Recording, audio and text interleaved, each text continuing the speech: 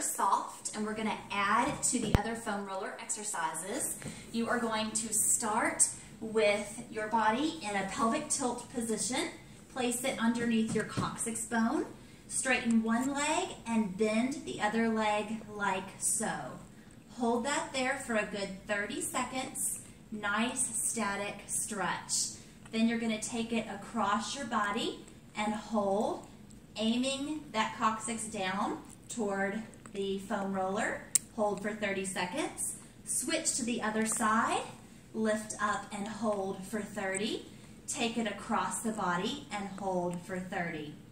Next, balance, holding onto the side of the foam roller and just rock the knees side to side like so for about a minute.